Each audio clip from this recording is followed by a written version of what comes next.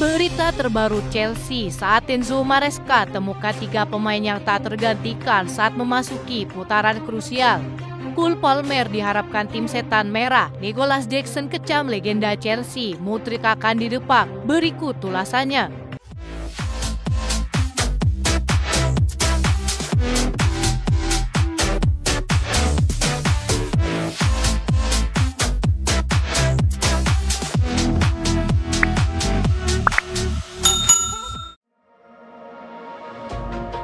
Enzo Maresca akan memasuki masa kritis sebagai bos Chelsea. Jika ada pelatih sepak bola yang butuh istirahat, itu adalah Enzo Maresca pada hari Minggu.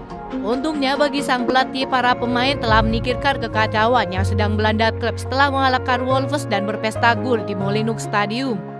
Ketenangan itu tidak akan berlangsung lama karena The Blues akan menghadapi dua pertandingan penting minggu ini. Belum lagi potensi sebuah aktivitas transfer saat Maresca berupaya memangkas daftar pemain seniornya. Sebelum jeda internasional, Chelsea akan menghadapi serangkaian pertandingan penting yang berpotensi menentukan perjalanan mereka. Chelsea akan menghadapi Servette di Liga Konferensi Eropa, Crystal Palace, Bournemouth, West Ham United, Brighton dan kemudian Nottingham Forest dalam apa yang dampak sebagai peluang emas untuk meraih poin. Mereka harus memanfaatkannya karena periode tersebut diikuti oleh serangkaian pertandingan berbahaya yang melibatkan Liverpool, Newcastle United dan juga sang rival Arsenal. Setelah kemenangan atas Wolves, Football London melihat tiga pemain Chelsea yang tidak berani ditinggal Maresca dalam beberapa minggu mendatang. Tentu saja Noni Madueke disuguhi sambutan yang tidak bersahabat sejak awal saat para penggemar tuan rumah mengungkapkan perasaan mereka terhadap sang winger. Madueke merespon dengan hat-trick pertamanya di Premier League dan membuka publik Molineux Stadium. Maresca yakin Noni Madueke akan terus diberi kesempatan untuk meningkatkan kualitasnya sebagai pemain sayap kanan yang berbahaya. Jika musim lalu menggaris bawahi potensi besar Cole Palmer, maka musim ini tak akan jauh berbeda dengan peran barunya sebagai pemain nomor 10. Terbukti sang pemain menjadi aktor di balik hat-trick Madueke saat melawan Wolves. Maresca diklaim akan terus membiarkan sosok Cole Palmer menjadi starter di setiap pertandingan. Nicholas Jackson merupakan pemimpin lini depan Chelsea yang sulit digantikan meski Christopher Kunku dan Mark Hughes bisa menjadi pilihan sang pelatih. Joe Felix dan Pedro Neto dapat memberi banyak peluang bagi Nicholas Jackson yang membuatnya semakin percaya diri di depan gawang lawan.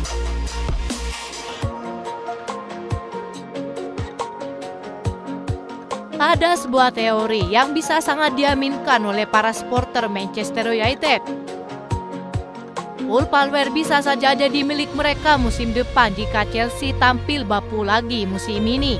Cole Palmer menjadi sensasi baru di Chelsea sejak bergabung dari Manchester City tahun lalu. Ia langsung gacor dan sejauh ini sudah mengoleksi 26 gol serta 18 assist dalam 46 penampilan di seluruh ajang.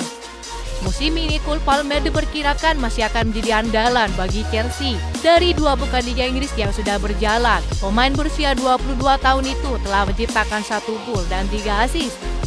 Cole Palmer sendiri terikat kontrak jangka panjang dengan Chelsea hingga Juni 2033, tapi bukan berarti mustahil untuknya hengkang lebih cepat dari Chelsea. Mantan bek Liverpool Jamie Carragher melontarkan sebuah teori, Chelsea bisa saja kehilangan Cole Palmer paling cepat musim depan. Hal itu diprediksi jika mereka tampil mediocre dan mengalami kekacauan dengan 42 pemain yang mengganggu keseimbangan di dalam timnya. Menunggunya para pemain tentu akan membuat ruang ganti Chelsea rentan kacau dan rabu. Cole Palmer bisa saja menjadi korban jika kekacauan berlanjut. Terlebih Chelsea juga baru mendatangkan Pedro Neto di posisi yang sama dengan Cole Palmer. Sesuatu tiba-tiba masuk ke pikiran saya. Kalau Chelsea menjalani musim buruk lagi, kita sebelumnya berbicara soal Manchester United mengalami masalah nyata di sayap kanan, kata Jimmy Carragher.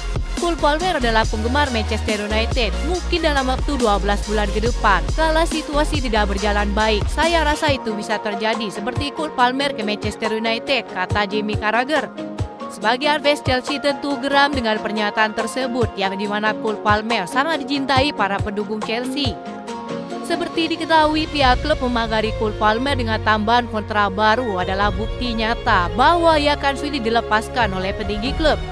Di sisi lain, tren kejam yang telah membuat Chelsea menjual Conor Gallagher dan mengisolasi Kaloba di tempat lain, maka hal yang sama harus dilakukan kepada Mikhailo Mudryk yang terus tampil mengecewakan di setiap pertandingan.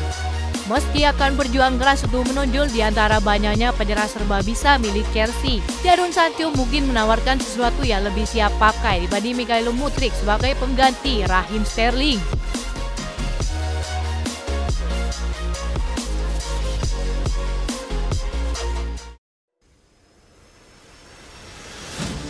Legenda Chelsea John Obi Michael mengkritik performa Nicholas Jackson yang disebutnya tak pernah menunjukkan penampilan yang benar-benar meyakinkan untuk Chelsea. Ujung dari kritiknya, John Obi Michael mendesak klub kesayangannya ini untuk mendatangkan striker top yang bukan seperti Nicholas Jackson. Kami ingin kembali ke posisi di mana seharusnya. Kami perlu tuh memulai mendatangkan pemain-pemain yang tepat dan mulai dengan memboyong striker top yang bisa membantu kami musim ini, kata John Obi Didier Drogba semua tahu, jika Anda memberi dia 2-3 peluang, dia akan mencetak gol. Kita lihat Erling Haaland hari ini. Peluang pertama yang didapatkannya, cara dia mengambil bola, cara dia menyelesaikannya. Ini adalah striker top dengan pengalaman Liga Premier. Kami tidak memiliki itu dan Nicholas Jackson tidak akan memberi kami itu. Kritik pedas John Obi Michael. Nicholas Jackson yang tak terima dengan pernyataan Obi Michael balik menyerang sang legenda. Dia tak sungkan melontarkan komentar kasar kepada seniornya lewat akun media sosialnya. Dalam postingan Instagramnya, Jackson menulis,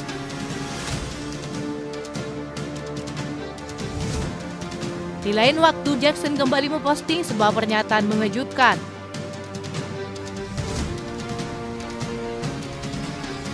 Kritikan pedasan legenda mungkin akan membuat Nicola Jackson tampil semakin percaya diri di bawah pelatih baru Enzo Maresca.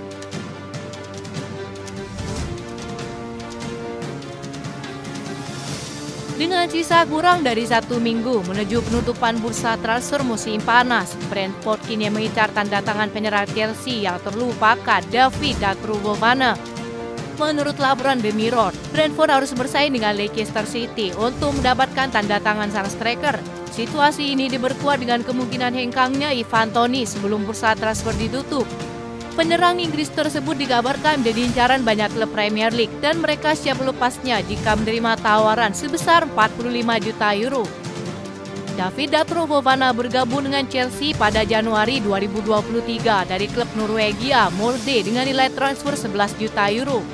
Hingga kini ia belum mampu menembus tim utama The Blues, hanya mencatatkan 4 penampilan di tim senior dan kerap dipinjamkan ke klub lain. Sang striker juga tak masuk dalam rencana Maresca musim ini. Jadi ia sudah dipastikan akan hengkang dalam waktu dekat. Chelsea yang tertarik untuk merekrut Ivan Toni akan mencoba peruntungan dalam kesepakatan bertukaran pada tahap ini. Football London melaporkan jika Chelsea sedang mempertimbangkan tawaran pinjaman dengan kewajiban membeli di akhir masa pinjaman. Kejutan transfer ini Chelsea lakukan sebagai upaya setelah Victor Osimhen dipastikan berlabuh ke Liga Arab. Opsi pinjaman ini mungkin akan menjadi solusi bagi Chelsea dalam hal mencetak gol dan David Truvovana akan mendapatkan klub baru. Itu saja informasi yang dapat kami sampaikan. Terima kasih yang telah menonton video ini. Salam olahraga.